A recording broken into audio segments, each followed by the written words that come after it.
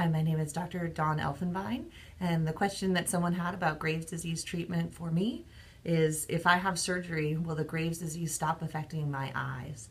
Um, and that's an excellent question and one we get a lot.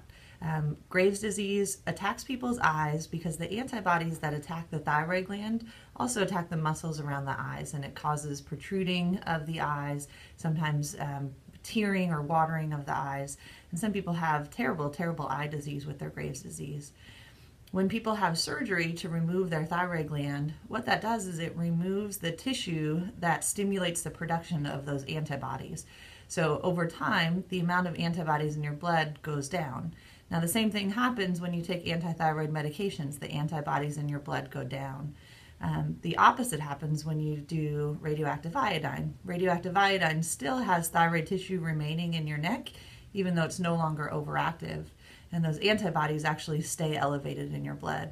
So, although surgery does not treat the eye disease, or surgery to remove the thyroid does not treat the eye disease, it does cause a decrease over time of those antibodies um, that do exacerbate and cause the eye disease.